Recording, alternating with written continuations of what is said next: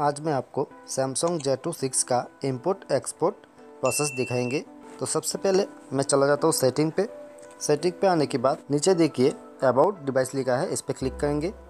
Click करने के बाद ये देखिए मेरा मोबाइल का model Samsung J two six import export कैसे करेंगे? चलिए देखते हैं। तो सबसे पहले कॉन्ट्रैक्ट पे चले आएँगे।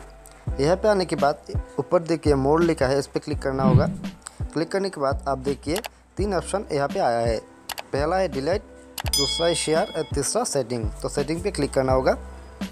क्लिक करने के बाद ऊपर देखिए लिखा है इंपोर्ट एक्सपोर्ट कॉन्ट्रैक्ट्स तो यहाँ पे क्लिक करना होगा।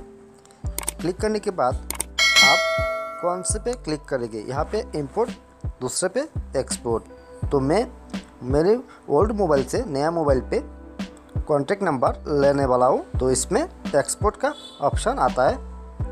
एक्सपोर्ट पे क्लिक करना होगा। तो एक्सपोर्ट पे क्लिक करने के बाद यहाँ पे आपको सिलेक्ट करना होगा। आप कहाँ पे ये नंबर सेव करना चाहते हैं? Device storage H D card sim one sim two तो मैं डिवाइस स्टोरेज पे क्लिक करूँगा, यानी फ़ोन मेमोरी पे। क्लिक कर दिया। तो अभी मैं आपको मेमोरी कार्ड पे जाके दिखाऊँगा। तो बैक कर दिया मैंने, फिर से बैक कर दिया। अभी मैं आपका अभी मैं आपको मेमोरी कार्ड पे चले जाके दिखाता हूँ। यहाँ पे आ गया मेरे मेमोरी कार्ड पे। यानी डिवाइस स्टोरेज पे क्लिक किया मैंने। क्लिक करने के बाद नीचे देखिए, लिखा हुआ है कॉन्ट्रैक्ट इस पर क्लिक करेंगे।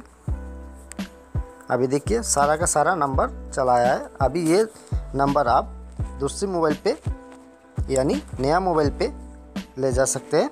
ले जाने के बाद, अब मेमोरी पे ले जाएँगे। ले जाने के बाद यहाँ सेव करना है आपको। सेव करने के बाद सारे नंबर आपको मिल जाएगा। तो इस तरह से आप अपनी कॉन्टैक्ट नंबर दूसरे मोबाइल पे एक्सपोर्ट कर सकते हैं।